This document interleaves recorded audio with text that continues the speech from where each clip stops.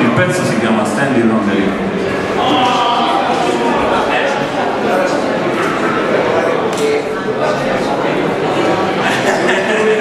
Manca quella, eh, manca quella.